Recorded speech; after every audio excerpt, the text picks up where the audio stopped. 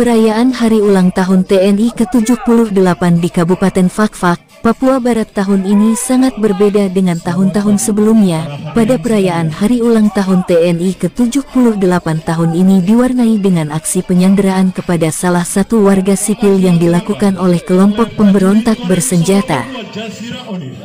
Mari kita saksikan keras Simulasi pembebasan sandera tersebut dilakukan oleh prajurit TNI Angkatan Darat dari Komando Resort Militer Korem 182 Jazira Onim bersama prajurit Kodim 1803 Fakfak di depan para pejabat daerah serta tamu undangan lainnya yang hadir pada perayaan Hari Ulang Tahun Tentara Nasional Indonesia ke-78 usai upacara yang bertempat di Jalan Dr. Salasana Mudat, Kabupaten Fakfak pada Kamis tanggal 5 Oktober tahun 2023.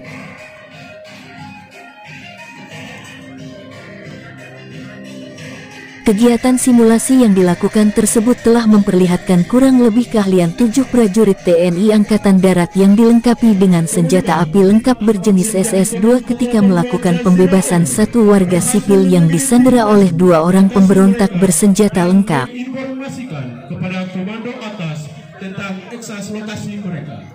Dari penyanderaan kepada warga sipil tersebut, Akhirnya prajurit TNI AD berhasil masuk ke dalam markas para pemberontak dan melepaskan tembakan yang berhasil melumpuhkan kedua pemberontak yang melakukan penyanderaan terhadap satu warga sipil.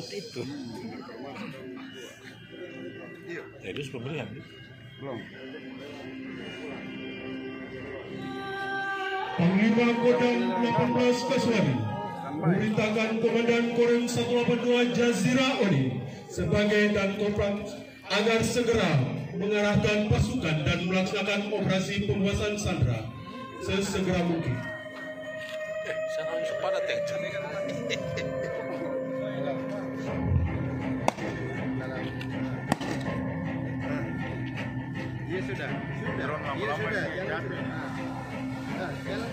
Dengan waktu yang secepat mungkin, pasukan telah tiba di wilayah musuh yang telah teridentifikasi lokasi. Dari pantuan awak media ini di lapangan, aksi simulasi yang dilakukan prajurit Korem dan Kodim telah mengundang rasa haru dan kagum oleh para pejabat daerah maupun undangan lainnya yang hadir. Usai simulasi pembebasan sandera yang dilakukan prajurit Korem dan Kodim, para penonton yang menyaksikan simulasi tersebut bertepuk tangan tanda rasa kagum mereka terhadap TNI. Upacara peringatan Hari Ulang Tahun TNI ke-78 tahun tersebut sebelumnya dipimpin langsung oleh Danrem 182 Jazira Onim Kolonel Infantri Hartono, SIP, MM dan dihadiri Wakil Bupati Fakfak Yohana Dinahindom, Dandim 1803 Fakfak Letkol Infantri Trihandoko Wicaksono, Kejari Fakfak, Kapolres Fakfak, serta para undangan lainnya. TNI ada bersama rakyat. Dirgahayu TNI ke-78 tahun.